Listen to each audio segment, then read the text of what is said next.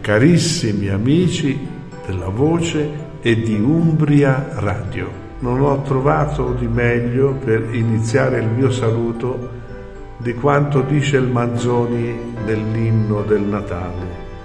Dormi, o celeste, i popoli, chi nato sia non sanno, ma il dì verrà che nobile retaggio tuo saranno, e nella polve ascoso conosceranno il Re.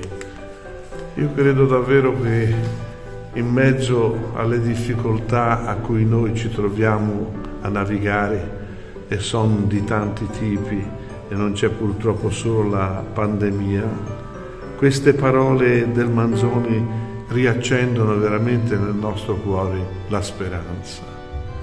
Il Signore viene. Quando gli angeli hanno dato l'annuncio ai pastori, non ha detto andate a cercare, ha detto troverete, li ha mandati, troverete, questo è il segno un bimbo avvolto in fasce che giace in una mangiatoia.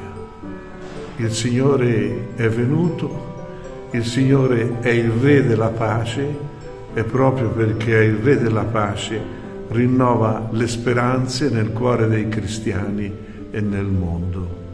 E io appunto termino proprio augurandovi un Natale che sia buono, che sia un Natale prospero di bene, che sia un Natale pieno di luce, perché la stella cometa ha illuminato i magi, ma non solo loro, illumina anche noi, e che sia un Natale pieno di pace. Gloria a Dio nell'alto dei cieli, pace in terra agli uomini che Egli ama.